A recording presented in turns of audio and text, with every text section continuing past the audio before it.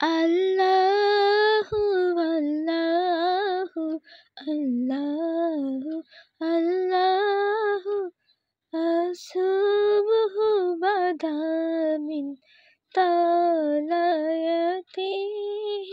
ওয়ালাইলু দুজামি হাফারিতি আসসালামু আলাইকুম, সবাই কেমন আছো? আমার প্রিয় আপু ভাইয়েরা। ভিডিওটা যদি ভালো লাগে লাইক শেয়ার এবং সাবস্ক্রাইব করে নিতে কিন্তু ভুলো না। আজকে তোমাদের সাথে শেয়ার করব দাদা দিয়ে একটা ডাল রান্না করব। খুবই মজা খেতে, তাই ভিডিওটা দেখতে থাকো। পেঁয়াজ, রসুন, মরিচ, লবণ আর হলুদ দিয়ে তেলে ভেজে নিয়েছি।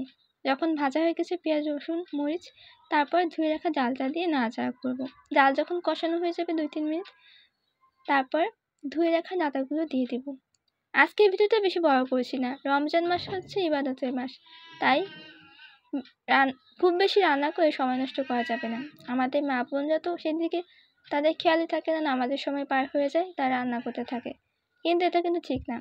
নামাজ হচ্ছে ফরজ।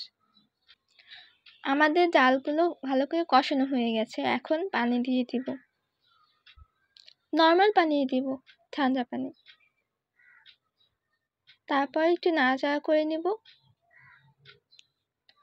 তারপর ধুয়ে রাখা ডাটাগুলো দিয়ে দিব। এই রান্নাটা করতে বেশি সময় লাগে না, তাই তোমরা কিন্তু করতে পারো রমজান মাসে। আমাদের জীবন থেকে এক একটা দিন হারিয়ে যাচ্ছে, কিন্তু আমরা সময়ের কত অপচয় করছি, এই রমজানে আমরা বেঁচে আছি, পরের রমজানে তো আমরা বেঁচে নাও থাকতে পারি। তাই এই রমজানটা আমাদের ইবাদত বন্দিকে কাটাতে হবে। ভাই বোন তোমরা সবাই ভালো থেকো এবং আমার জন্য দোয়া করো। আল্লাহ যেন আমাদের ইবাদত বন্দি কবুল করেন। আমিন। দেখা হবে পরবর্তী কোনো ভিডিওতে। আল্লাহ হাফেজ।